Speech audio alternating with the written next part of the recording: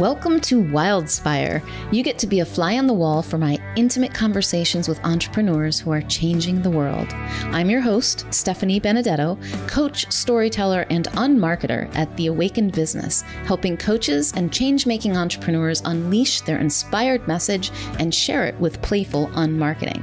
I'll ask curious questions and explore uncharted waters with my guest today. Anything can happen when we step into the unknown of infinite creativity, and that's where we're going to play.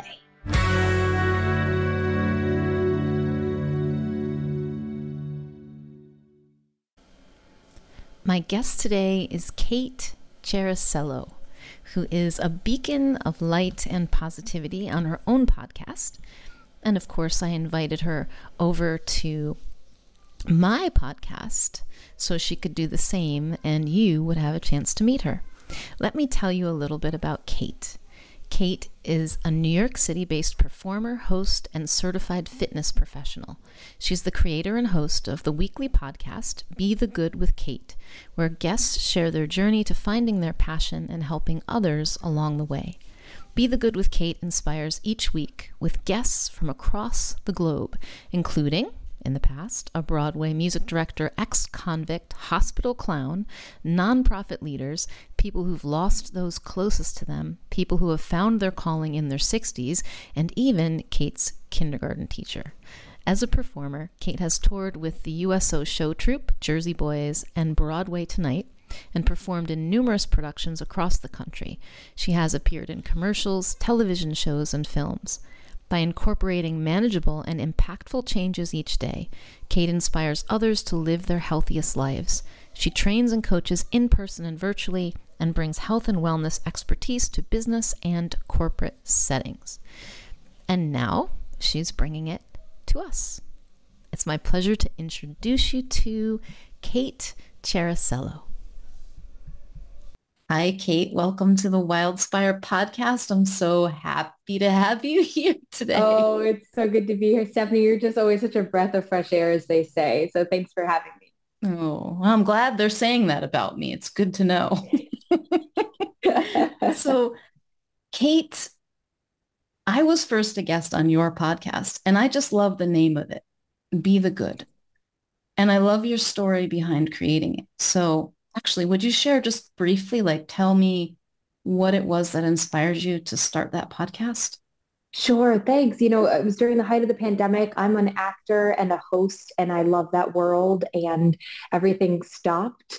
And I thought, you know, one, I need to keep these, you know, so to speak, muscles active of working on camera and all of that. But then more than that was we were surrounded by all of this negative news and just everything was heavy.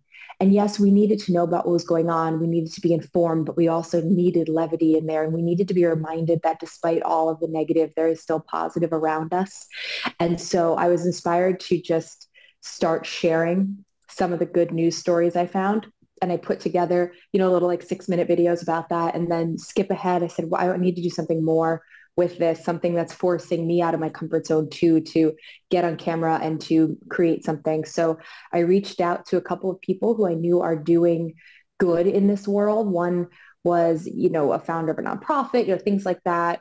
And once I sent that email, it was like, well, I'm in. You know, if these people say yes, I have to do it now. I can't just keep planning this show that I have in my head.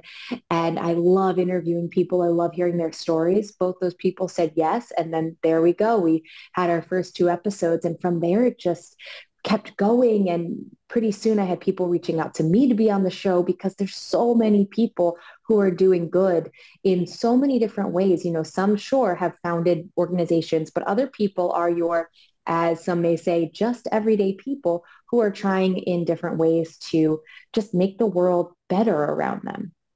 Mm. That's beautiful. I love that. I love that as a personal project and I love that you've shared it with the world. And that's why I was I was drawn to you. It had an energy about it that I felt like, yes, I want to contribute and be a part of it. So what what Kate in this journey, because I imagine this has been a journey. You know, you said you had to move through your comfort zone, also grow your comfort zone through it. Like, what have you learned about, what have you seen about being the good in the world maybe that surprised you? Mm-hmm. You know, two things come to mind right away. One is more in the technical logistical and one is more in the big picture. And I think the first would be that we, thanks to technology, especially now, it is truly easy to give people a spotlight. And it is way too easy to give the negative a spotlight. You think about the news and quote unquote what sells, right? You get those those headlines that are very scandalous and all of that. And it's also though we have to remember it's easy to shine a light on the good and me turning on a camera and talking to someone about what they were doing scared me because I I like to be told, here's the project, now make it happen. Or, you know, I like to talk to people out in life, but to actually have some sort of formal creation that I was responsible for, that was a scary part. But really, once you click record on the camera, it's like, oh, this is happening. And it was actually so easy to do. I didn't need crazy lights. I didn't need, you know, a 10 person crew. And so I mean, I can go on and on about that, but I think there's there's that aspect of it is easy to shine the light on the good news, even if it's sharing an Instagram story from something, you know, that reminder. And then from more the big picture, from interviewing, I'm now at um, episode, I think 114 in Be the Good with Kate. And something that really has stood out every time about being the good in our world is that starting with a small step a lot of times we hear, oh, I have to make a difference. And we think, okay, well, what, what board can I join and what, you know, 10 week, six hour a day project, or I'm exaggerating, but, you know, project can I be a part of? And almost all of these people I've talked to have done something that was one small step or something that looked like it was going to turn out really bad and ended up being the best thing that happened to them you know that sort of thing um, you know whether it was someone lost a job that they thought they were going to be set in for life and that was the impetus to go out and do something that they actually had a true passion for, whereas that job was just what had the paycheck and the fancy title.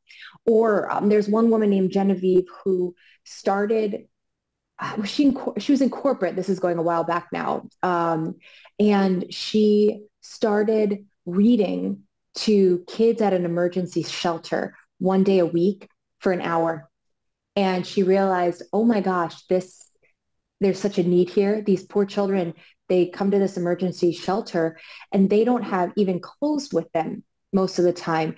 They just have themselves, and they're little kids. They're terrified. You know, they're ripped, ripped out of their homes and so she said, I love reading to them and I see how much pleasure that gives them, but I can do more.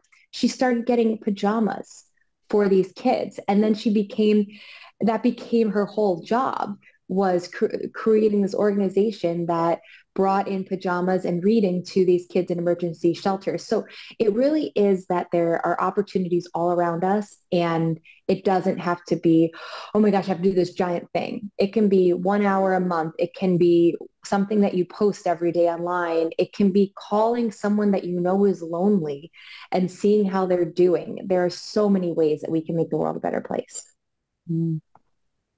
That's really cool. I actually had a conversation with Genevieve a couple years ago. I think it oh, was on the on the podcast. No yes, way. yes. I rec- as soon as you said Genevieve, I'm like, oh, I know the, the pajama thing, and yeah, oh, yeah. what a beautiful story. That's I, wild. That of all the people that came to mind, she's one that you've talked yep, to. Yep. and it's it is fascinating. I love that what you're bringing is start here, start mm-hmm. in this moment and honestly, I think that the, the most powerful thing that we can do to be the good is to be ourselves right mm, here. Yes. Our true selves, not our thoughts about ourselves. You know, I can go crazy with judgment about myself and oh, thinking and self-conscious. That's not what I'm talking about. I'm talking about the way you feel when you feel at your best. That's you. Mm. That's me. Yes. Like that from that place, it occurs to us to do things for others without even trying. It's just what happens. We notice because now I'm not so obsessed with my own self thinking that I'm actually paying attention to the people around me. to the things around me. I, I noticed um, I had my head in the sand for a really long time. Actually, maybe you could speak to this.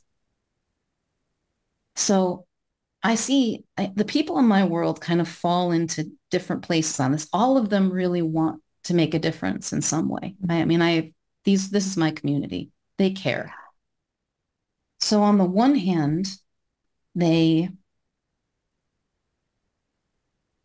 they get really stressed out because they're looking at the news, they're thinking about politics, they're worried about what's happening. They want to make a difference, but it, and they're called to in some way and it becomes it gets heavy.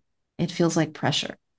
And then sometimes on the other hand, this is where I was for a long time. I was kind of putting my head in the sand a little bit. I didn't want to look. I wouldn't watch the news. It was too much for me. And now I see there was wisdom in it because I was scared. Mm. And I had enough anxiety going on in my life already that to look further was more than I could do at that time. And it wasn't until I started to feel safe in myself that my eyes opened and I was no longer afraid to look. So if someone is maybe somewhere either of those ends of the spectrum, like what have you seen that can help us to navigate that, to actually make a difference without making it hard on ourselves? Mm-hmm. I love how you said safe in myself. That was such a, that, that really stuck in my head right in that moment because it's such a great way to talk about a lot of things, but especially the idea of you said safe in yourself, then you could see the terrible news and whatnot that was going on. That was a really good way to put it because it is, right? A lot of, we all have fears and we all have things that make us give us anxiety and the news does catapult that so much more. But the more that we are established in our foundation and what rings true to us, the better we are able to face all of that. So I love that you said that and how you worded that. And I think, you know, with with regards to being the good when we are surrounded by all of this is the reminder that we're not going to be able to do everything all at once you know and uh, because there there are so many problems. And i know like i just moved to a new community in recent months and so i've been you know i want to get involved in a nonprofit and figure that out and i know that i'm trying to figure like okay wait where would my time be best spent? Because there are so many issues everywhere if we go worldwide, if we go countrywide, if we go statewide, if we go my own town, you know, there, there are going to be so many issues. So like, do you help the environment? Do you help the kids? Do you help the sick? Do you help the political things? It's just, what do you do? And it's completely overwhelming at times. So I think the, a big aspect is we won't be able to do any, everything. And once we accept that we can't change every single thing, I know for me that's helpful because then I don't feel like every time I hear something that's not going well or someone that's getting hurt, I can't help every single thing, but I can do something. And maybe I can even do a little bit of a lot of things.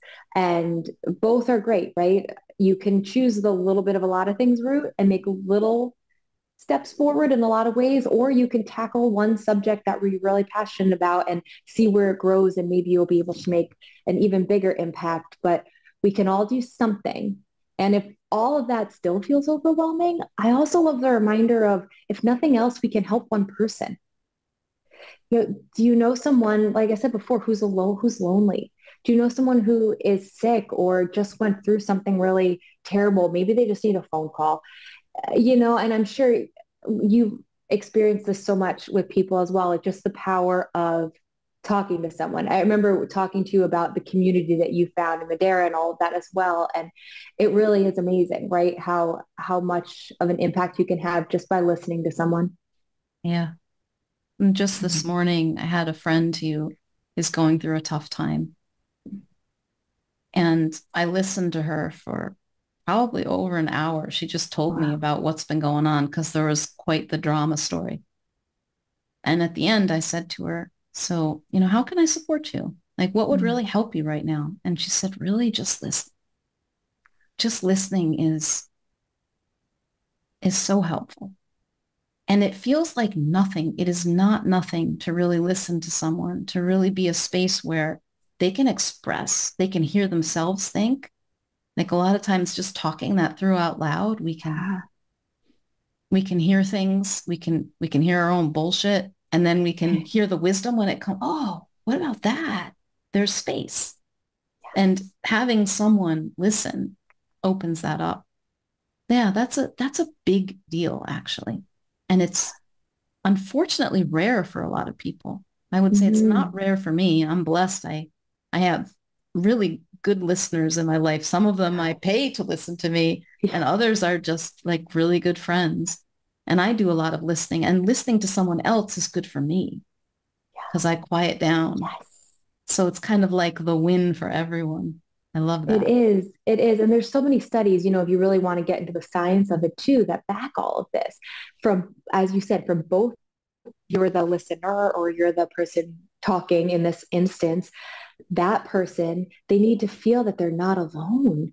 You know, loneliness is such an epidemic in our world.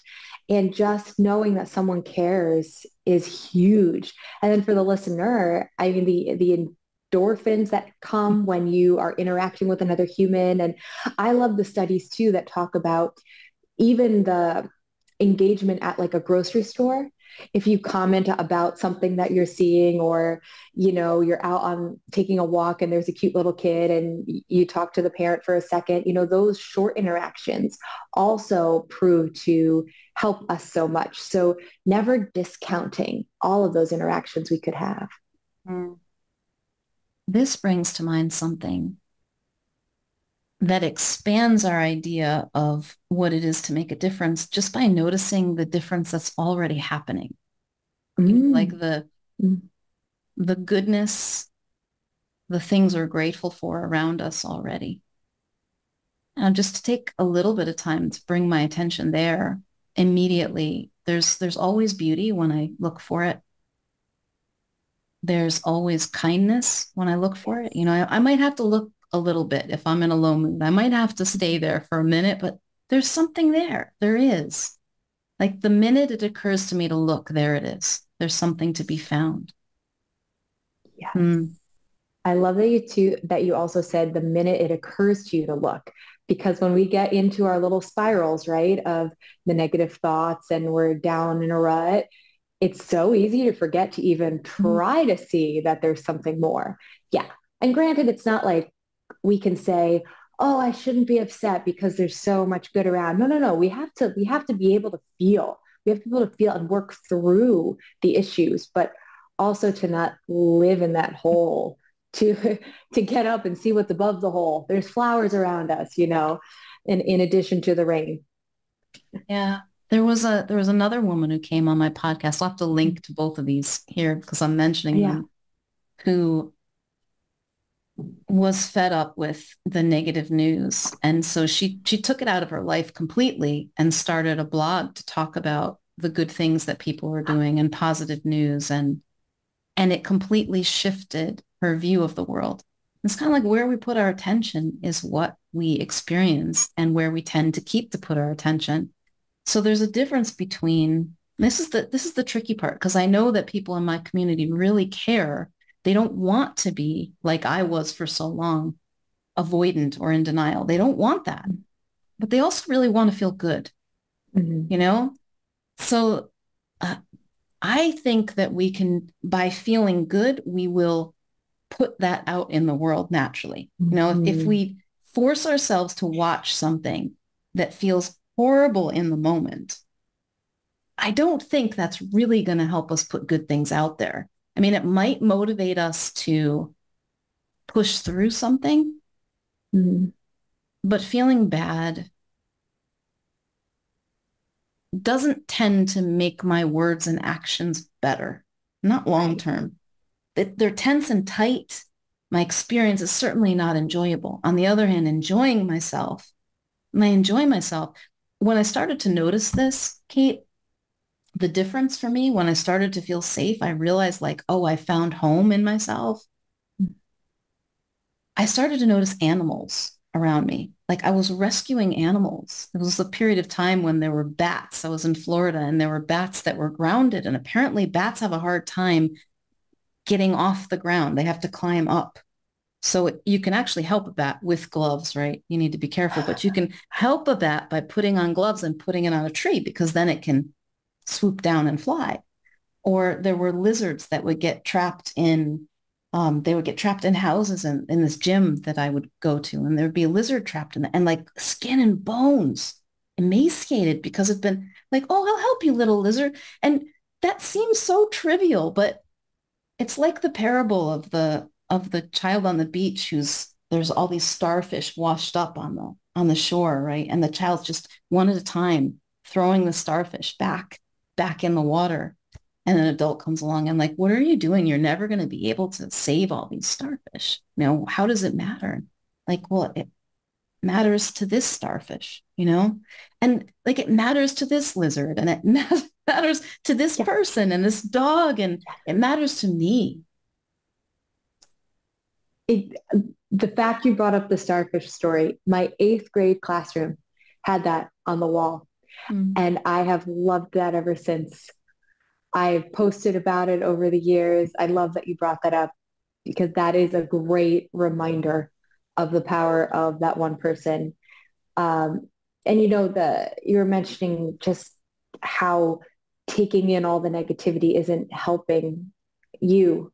And I think of that too with we're in such an ex, of an explosive media um, age, I guess, if you will.